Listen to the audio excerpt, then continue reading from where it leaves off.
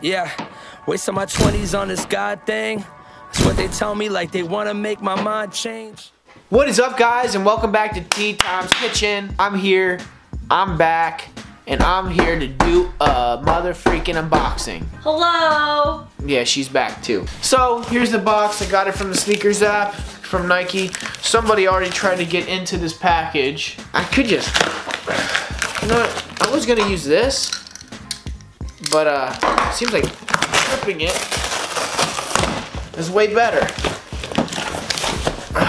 Because someone else tried to already get into this package. I'm looking at myself, I should be looking at there. Oh, tracking information, don't want to show you that. And uh, here's the box. It's okay. As you can see, it's another Jordan 1 box. Bam. And Ooh. Ooh. That didn't work. Oh, the box.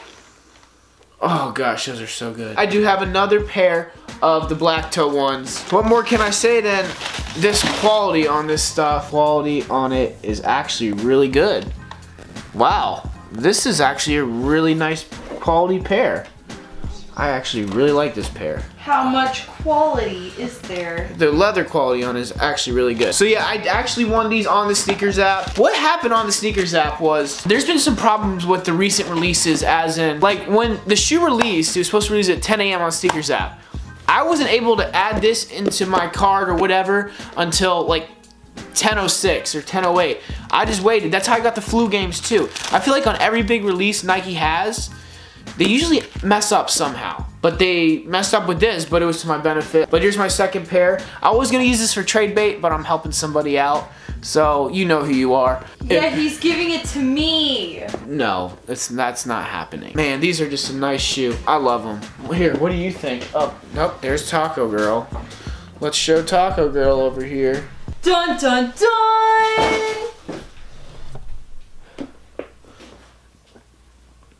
I don't know much about shoes, but this leather quality, it looks nice. This is actually the shoe that I, this is, what do you call it? This is the style shoe that I customized for you. The Jordan 1. Right, I've done these before. I know these shoes. I like the bottom. That pattern's really nice. Should I put them on my feet? You don't put them on your feet, don't do I won't do it. Cause I don't, I'm not wearing socks. But, no, I mean these look like a really nice shoe.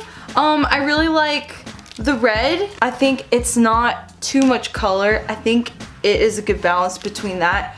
I'm also a sucker for shoes that are just white and black, but you know, red's not bad. Or any other colors. I've seen them in blue and I've liked those. I'm trying to see if there's anything that I really like. Got the guarantee of the quality on the tongue. Guarantees the quality.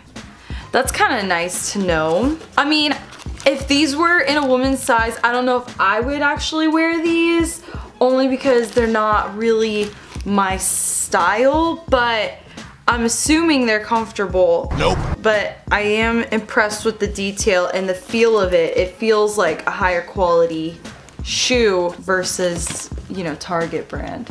What you talking about, Willis? I think you're done. Aww. Target brand. Are You, Yes. are you done? Well, Do you just want to tell them goodbye? you guys, goodbye. I'm getting kicked off of the video now. Or should we tell them I'm out? Um, are you out? Alright. Are we going out? I love you. I'm I- tea time. We're out of here. We're out. Now I gotta edit this.